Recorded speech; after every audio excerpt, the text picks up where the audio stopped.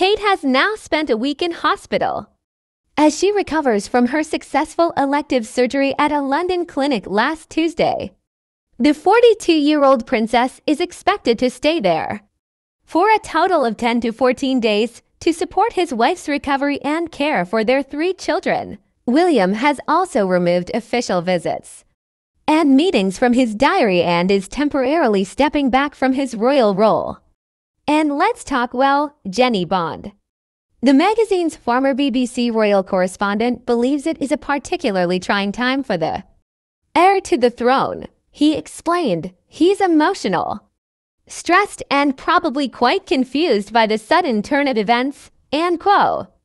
You may have all the privileges in life, but your health is most important and under your control. William is definitely there for the kids. They want things to be as normal as possible, so I X help with homework, cooking, and bedtime routines, and quo.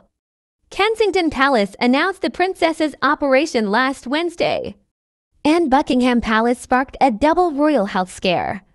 Just 90 minutes later by revealing the king was preparing for treatment for an enlarged prostate.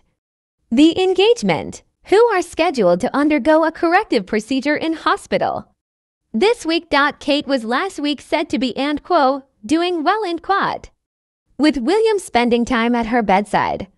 She is not expected to return to official duties until after Easter, a royal source told the Sunday Times. The Waleses have switched to and quo, 100% family first, day job second dan quad. Aides insist the princess will be out of sight over the next few months, but is likely to be working behind the scenes. And QUOT semicolon her passion for the early years is clear. There will be a huge continuation of that campaign.